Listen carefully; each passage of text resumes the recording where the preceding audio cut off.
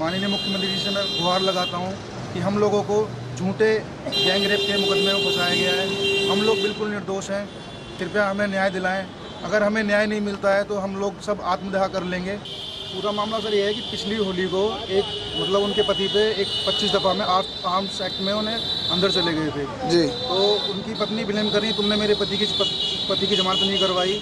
और तुम्हारी मम्मी थाने गई थी साथ में। और जो शिव कुमार मुकेश जिन पे आरोप लगाए गए हैं गैंग रेप के वो दोनों उस मुकदमे में गवाह थे। तो इस कारण फंसाया गया है। मेरी मम्मी उनके साथ थाने चली गई थी इसलिए हम तीनों को फंसाया गया है।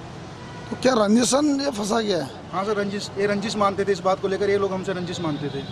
एक एफ़ आई आर पंजीकृत कराई गई थी छिहत्तर डी की राजा रामपुर में। इस संदर्भ में आरोपी पक्ष का कहना है कि वो इसमें निर्दोष हैं। इसे उन्होंने एफिडेविट उपलब्ध कराया है। इसमें विवेचना की जा रही। नीचे के द्वारा सारे तथ्यों का परीक्षण कर लिया जाएगा, जो भी सही पाया जाएगा उसी उसे आधार है